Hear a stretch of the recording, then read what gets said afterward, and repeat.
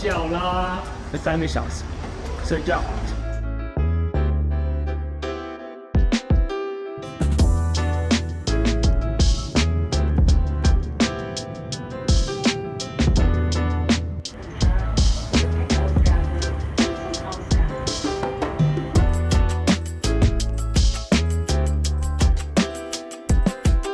我们终于到德国了，坐了十三个半小时，我屁股已经烂掉一半。我刚大概六个小时才要起来上一次厕所，其实蛮辛苦的，坐到屁股真的是歪掉。但我刚刚听我同飞机的跑友分享，他们竟然还要再坐四个小时的德铁去到柏林。我们这次选择的是坐飞机转机，所以等下我要再搭一个内陆线从慕尼黑飞往柏林。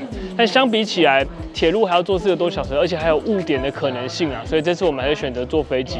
那因为我觉得来比赛最重要的是要想办法快速的到会场，不要胆战心惊的想说我等下会不会还有误点这些可能性。所以我觉得这次我跟雄狮的团来是一个蛮爽的。相对我上次去伦敦一直在想着我等下几点要到几点要到哪，我刚直接转机的时间坐在那边喝咖啡，好舒服，整个是不用带脑哎。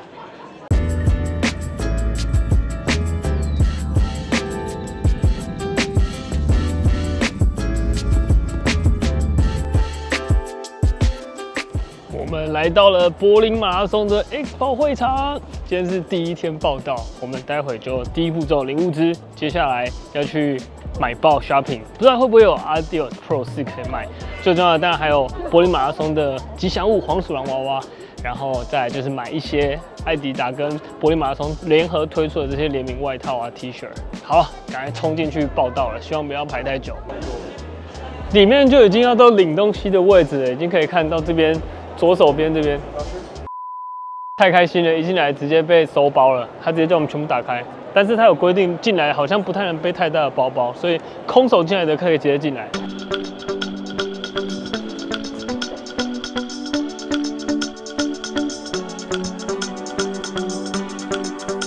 上面 Expo，下面领号码布。哎，它里面就是机场哎。我们走下来，身后这边感觉以前是一个机场，然后身后这一排全部应该就是要进去会场里面领号码布。现在已经三点五十八分了，三点开始，现在还是这么多人呢。我们先兵分两路，我去排号码布，你先去帮我买东西。等一下那边见。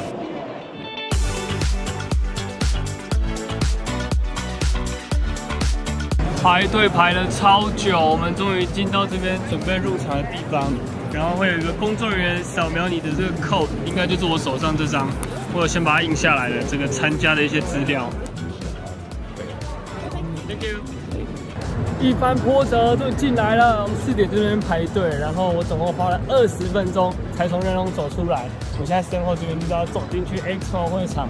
听说里面就是别手环、领号码布，然后另外一边呢，如果你是一般来逛 Expo 展会的地方，还有另外一个入口，就不用在那边人挤人。但可能今天是比赛的第一天，所以大概要花二十分钟才可以进去。哇，天哪，太可怕了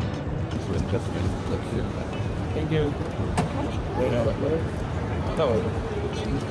OK，我的手环好了。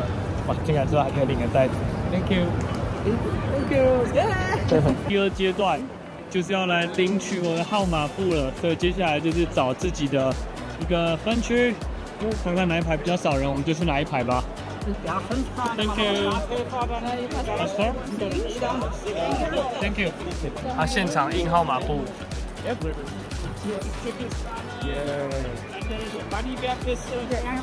接下来等我的号码布，这个应该是地图。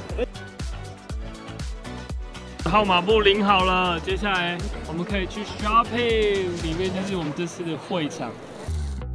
雄狮旅游最专业的运动旅游专家，由跑者设计的行程规划，最懂跑者需求，丰富的赛事保障名额，不用担心是否抽中参赛资格。琐碎的交通、住宿、餐食预定，都由雄狮来帮你完成，省下大量来回比价的时间。你只需要专注备赛，站上世界级的赛场，享受比赛。二零二五世界马拉松精彩赛事开放预定中。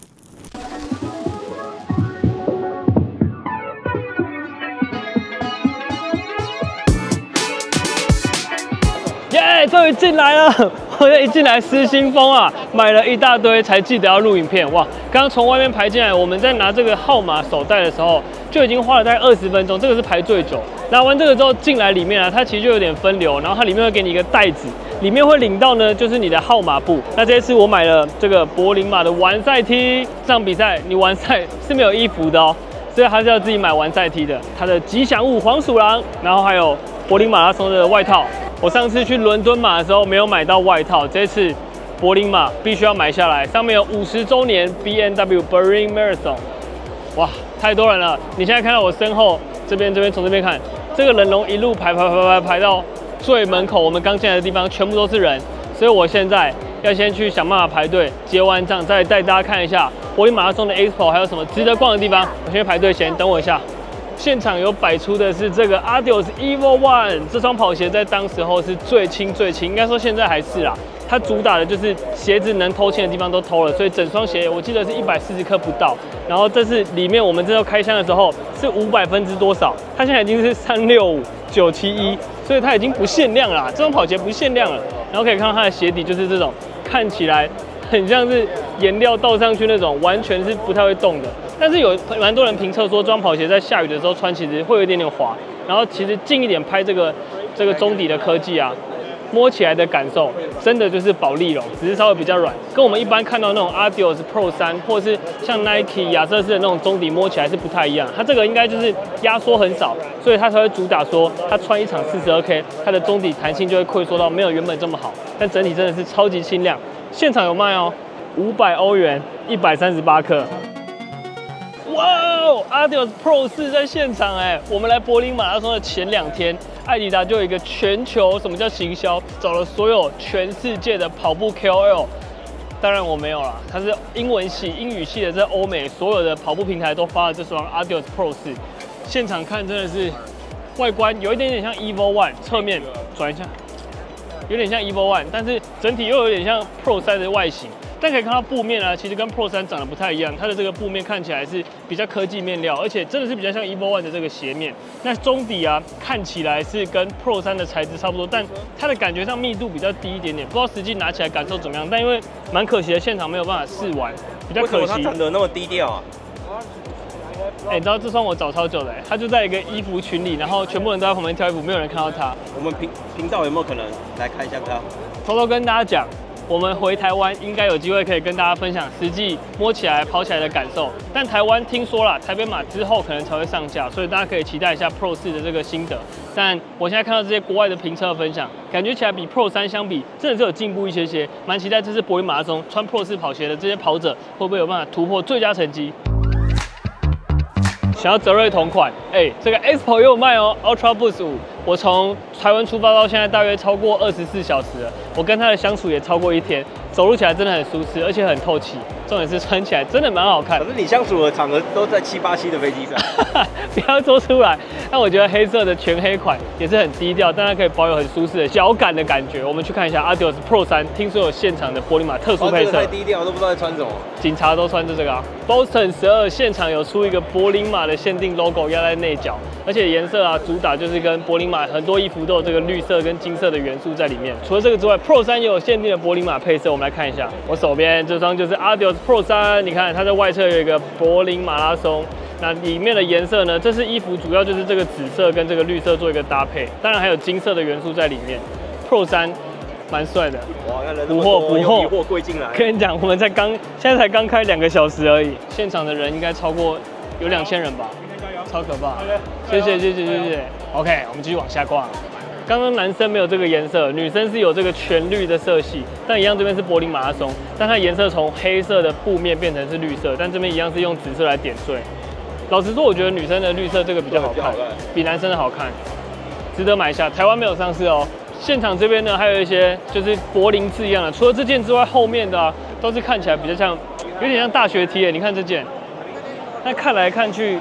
有一点点不是我的口味啦，我感觉东京可能比较好看。我们把扣打留给东京。哎，我觉得这次柏林马拉松的这个 Expo 设计蛮好。我们现在往后看这些区是主要赞助商，所以有 Sharks 啊、艾迪达，身后这边还有 Molten 的果胶也排超多。但因为我上一次在伦敦嘛买很多，所以这次先不买。但它的隔着一个门过去，就是其他可能是类似的竞品品牌，可是不是主要赞助商，就在身后那一区。所以我们那边可以看到迪卡侬啊、Hoka，还有其他相关的运动品牌，但跟艾迪达是直接竞品关系，所以它就隔了一个门把它切开来。Thank you。我刚买了一件这个柏林潮牌，穿起来蛮好看的，全白，但它的版型剪裁很好看，蛮喜欢它的设计风格。它东西其实没有很多，但整体穿起来真的蛮赞的，耶、不小心在 C Sky 这间店有手滑了，它的现场卖了蛮多台湾比较快就会被抢光的款式。这个帽子戴久了好像蛮好看的，这个花纹蛮特殊的。现场它也有卖整套的外套、裤子或是背心，蛮帅的。入手完蛋，我来这边逛都是逛那些比较潮流一点的。好，我们要往集合点前进了。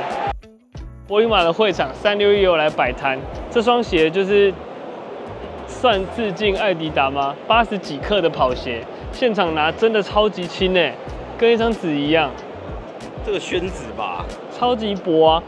但它整体不知道什么中底看起来是有点泛黄，还是它本来就这个颜色，蛮帅的，很轻。